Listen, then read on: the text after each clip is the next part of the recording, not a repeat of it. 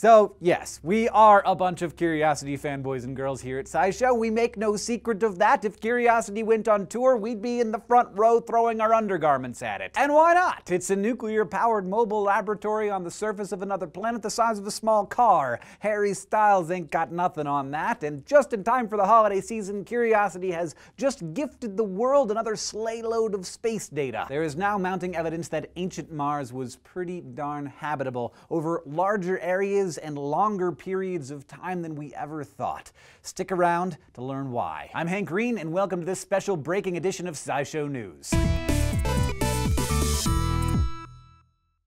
The Curiosity rover, aka the Mars Science Laboratory, landed on Mars in August of 2012. Part of its mission is to find evidence of past life, and since then we've been giving you updates about its findings. Now, it's been a few months, but researchers working with Curiosity presented a truckload of data today at the American Geophysical Union's fall meeting in San Francisco, California. Since we last checked with Curiosity, it steered off its planned course toward Mount Sharp to investigate some curious-looking formations, including what looked like an alluvial fan, a deposit that forms at lake inlets in a 5 meter deep trench called Yellowknife Bay. When it arrived at the deposit, Curiosity captured images of what appeared to be layers of fine grained sedimentary rock. Mission scientists explained today that this kind of rock forms out of sediments that have settled to the bottom of a body of water. So Curiosity drilled through the bottom layer, deemed sheepbed, and with its Chemin instrument used X-rays to determine the formation's basic chemical makeup. Sure enough, it's mudstone, a sedimentary rock that forms in water. Now, Curiosity's previous sample, Rocknest, was also mudstone. What's new here is that everything we've learned so far indicates that Gale Crater, the massive crater that Curiosity has been roving since it landed a year and a half ago,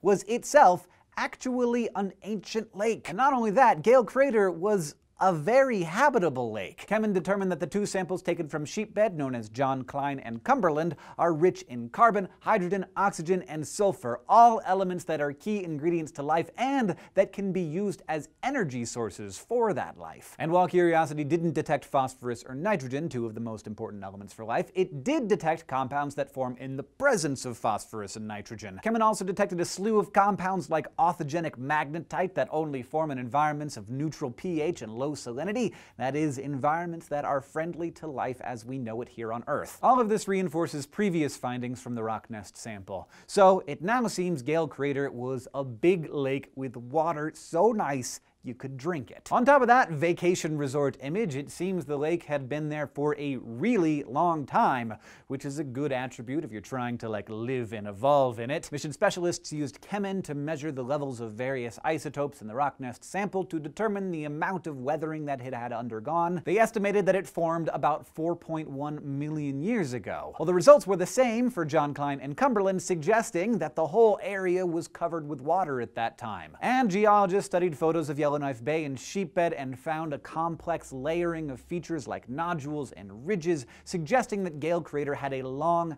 complex affair with water. So they think that the lake lasted for tens of thousands and possibly hundreds of thousands of years. So given all that time and a large lake rich in mineral energy, what kind of life could have materialized? Chemolithoautotrophs are simple organisms that derive their energy from mineral compounds. Sounds a little bit weird maybe, but on Earth these extremophiles can be found in lots of places. They tend to do especially well in unspeakably hot or dark places like caves and thermal vents where no other organisms dare to dwell. So even though there's still no sign of life past or present on Mars, and I want to be clear about that, the new results from Gale Crater add to evidence that Mars could once have hosted something like them. With each new result, it seems like signs of past habitability are being found across bigger and bigger areas and longer stretches of time. Which means that with each new result, we get closer to that last remaining step of actually finding signs of past life on Mars. I'm holding out hope, curiosity, think you could do it. Thank you for watching this special update from SciShow News and a big extra helping of thanks to our subscribers on Subbable, without whom you would not be watching this. Would you like us to tweet a picture from our studio to you or add a custom message to our doobly-doo? To learn more about these and other exclusive perks, go to Subbable.com. If you have an idea for a topic you'd like us to cover or a question or comment, leave it for us in the comments below. And don't forget to follow us on Facebook and Twitter and go to youtube.com slash scishow and subscribe.